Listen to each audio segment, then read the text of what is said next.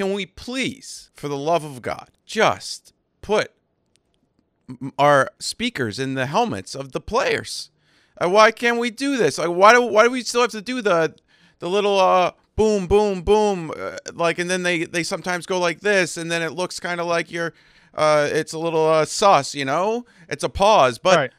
why are we still doing this?